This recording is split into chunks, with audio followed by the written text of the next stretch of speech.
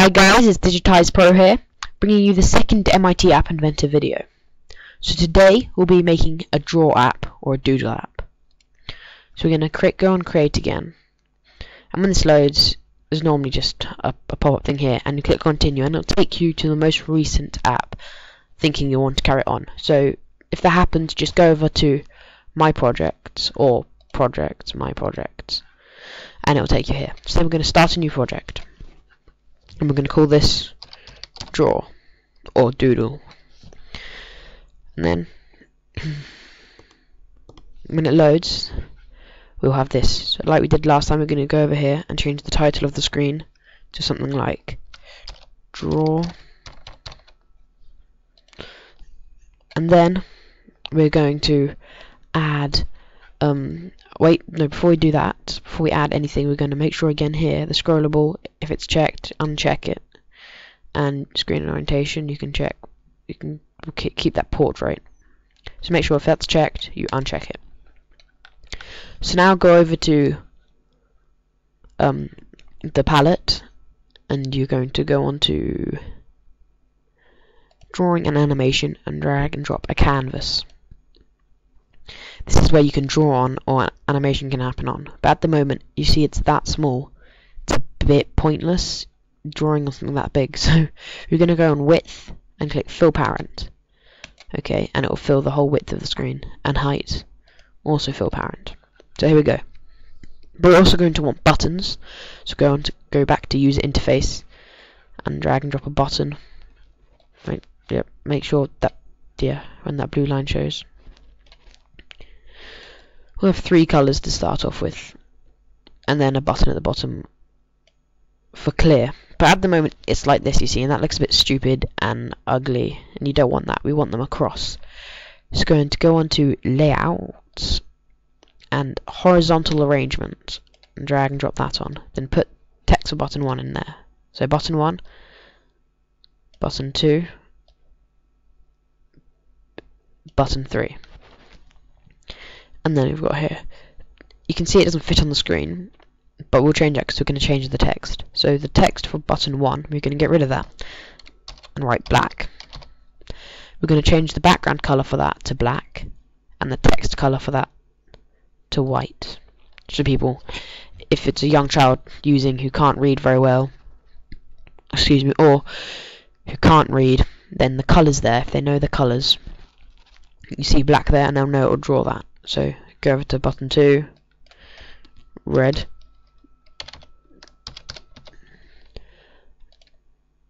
We're going to go red. And then I think we'll go for green.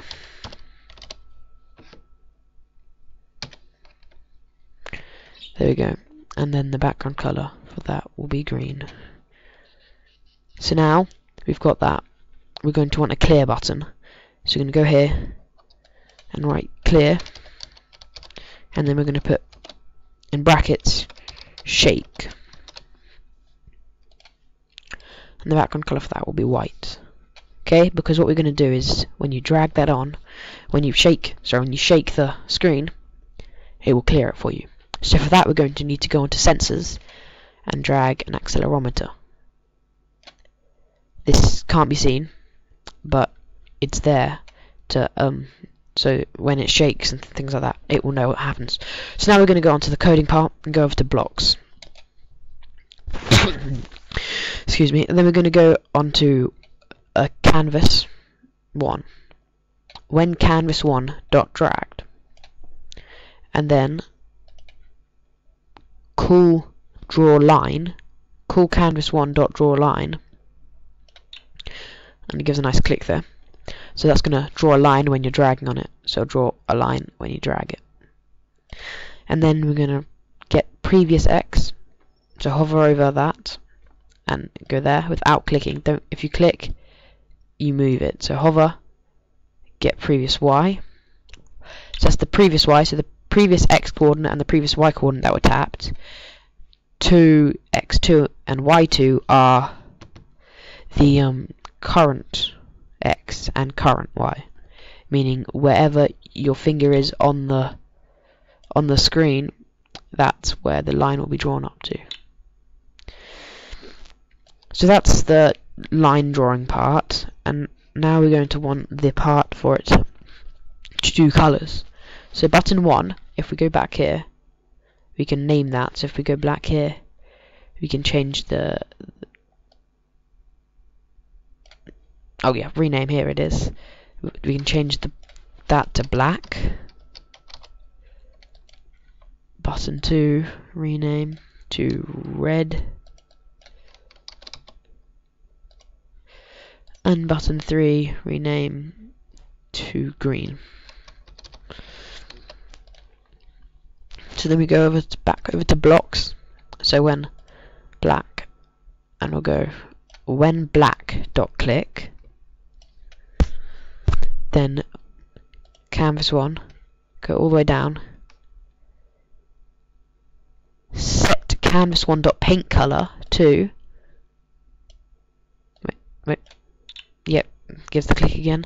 Two, and then we go over to color here, which is really useful here. They got control, logic, maths for numbers and stuff. But we're going to do color, so that's the grey one, and the black here. If you want different shades, you can click on that, and then you've got all the shades there to choose from. So now we're going to duplicate this. And as you can see, there's a a mark there um, a warning sign saying that it's duplicated. This is a duplicate event handler.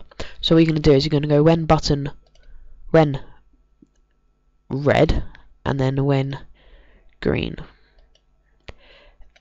And you're going we're going to delete these. You could do the shades, but there's so many different shades of red that you might get it wrong to the actual color of it. So we'll go color and this is going to be the simple red. Another click there and this is going to be the green. So that's that bit done and that's all the drawing. But we're going to want to clear it now because we have the clear button. So we're going to do when button 4 which is clear we can go and rename that if we want but it's okay. When button 4 dot click going to back onto the canvas cool canvas 1 dot clear which clears the whole canvas. But then also we're going to want this um, shake option. So we're going to go here, click when accelerometer sensor, and when it's sh dot shaking, so when it's being shaked, it will also, so we just duplicate that, call the canvas one to clear. So that's the coding part. If you can follow along with me, pause the video now and copy the code that's on the screen. Um, so now I am going to go and test this to see if it works. So now you've seen me do the design of this and put the coding blocks on it, we're going to test it. So you're going to open up your phone, if I can get the password right, and go on to MIT AI2 Companion. Um, so now that's open, we're going to go on to Connect AI Companion, and then the code will come up. So there's the scanning code, and if you can see there, there is a six-digit code, six-character code. Um, and as it says here, you can either enter the six-character code or scan it. So we're just going to scan it, hold it over, when it registers, the app will load.